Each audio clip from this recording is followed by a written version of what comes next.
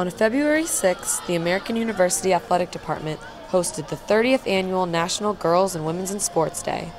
Approximately 100 young girls came to Bender Arena to participate and learn several different sports from AU's own female athletes. Eye on the Eagles took an inside look at the event. What does a day like this mean to these young girls and to their parents for them to get to see these college players play and participate in all these sports?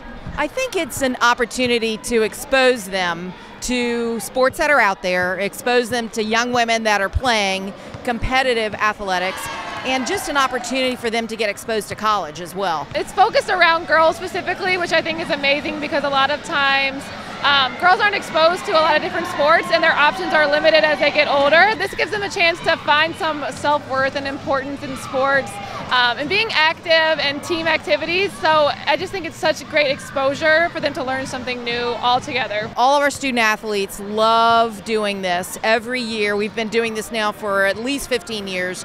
It's a highlight of some of their lives because they love to work with the young kids too it's just it's it's fun. The parents also love it because it gets them out of the house and they get to watch their kids play and meet other parents and spend time with family as well. So, so the one thing that I was trying to get them out here to do was just to see, you know, uh, women in sports playing different sports.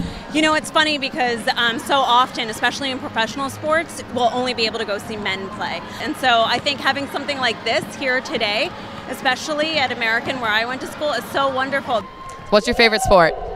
Um, There's so many to choose from, I know. Yeah, I don't know. So I heard you're an alumni. What's it like to come back here and see the school again? Yeah, it's wonderful. You know, um, we come back fairly often because we live locally, but um, but coming back for an event like this where I can bring my daughter is just so nice. I played basketball and I also ran track here. But it is very nice to come back. Um, I love coming back and giving back to the AU community. My oldest plays basketball, uh, and my youngest plays, well, she actually runs track. Cool, following in mom's footsteps. Is there any new sport here that you've never tried before but you're excited to try for the first time? Um, swimming, field hockey. What's your favorite part about being here today? Uh, there's a lot of sports.